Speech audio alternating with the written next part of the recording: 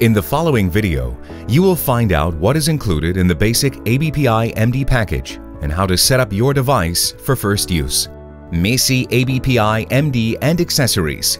The basic package includes the ABPI MD device, instructions for use, M-sized cuffs, a charging cable, and a USB cable for PC connection.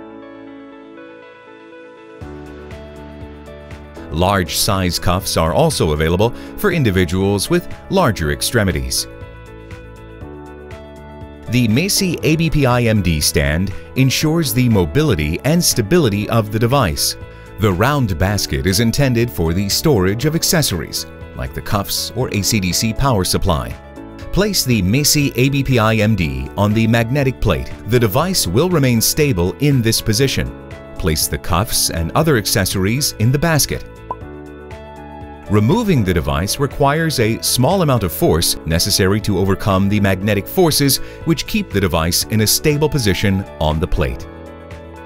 The MESI ABPI MD is completely portable.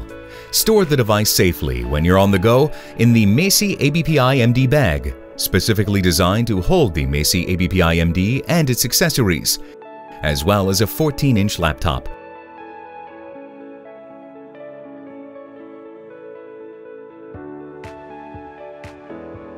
How to set up the MESI ABPI MD for first use.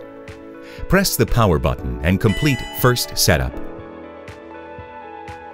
First, navigate through the language menu using the up and down buttons.